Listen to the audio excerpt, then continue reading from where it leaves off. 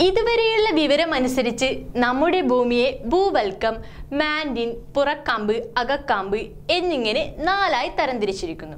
എന്നാൽ ഇതിലിപ്പോൾ മാറ്റം വന്നിരിക്കുന്നുവത്രേ. എന്നാൽ പിന്നെ അതെന്താണെന്ന് അറിഞ്ഞിട്ട് തന്നെ കാര്യം. എന്നാൽ കേൾക്കും. ഭൂമിയുടെ നാലാമത്തെ പാളിയായ അകക്കാമ്പിനുള്ളിലാണ് ഈ പുതിയൊരു ഭാഗം കണ്ടെത്തിയിരിക്കുന്നത്.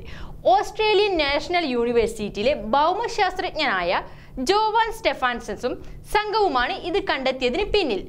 ജിയോ ഫിസിക്കൽ ജേർണലിലാണ് പഠനം പ്രസിദ്ധീകരിച്ചിരിക്കുന്നത്.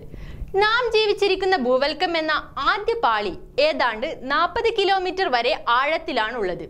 അതിലും താഴെയുള്ള ഭൂമിയുടെ വ്യാപ്തത്തിന്റെ എൺപത്തിനാല് ശതമാനവും വരുന്നത് മാൻഡിലാണ്.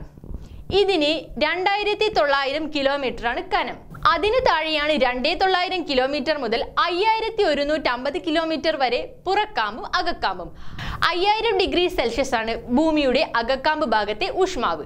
ഭൂമിയുടെ വലിപ്പത്തിൽ ഒരു ശതമാനം മാത്രമേ ഈ ഭാഗം വരികയുള്ളൂ. ഈ അകക്കാമ്പിന് ഇപ്പോൾ രണ്ട് ഭാഗങ്ങൾ ഉണ്ടെന്നാണ് കണ്ടെത്തിയിരിക്കുന്നത്.